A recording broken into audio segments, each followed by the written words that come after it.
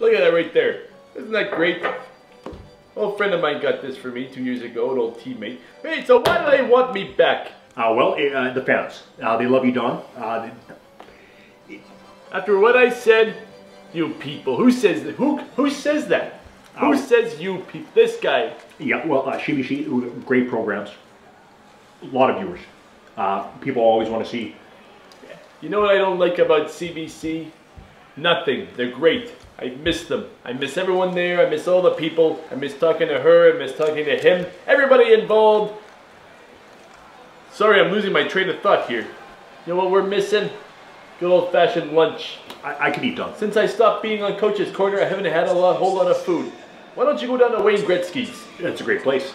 and get us a good old fashioned steak, well done, and get yourself something too. Uh, well done. Better wrap things up here. Shut up! I missed that, Don. I miss it too. Hey, buddy.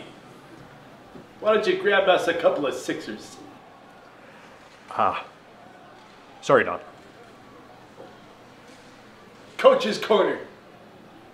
How bad do they want me back? But thank you guys for being great fans. Don Cherry Ron Quick. Let's go!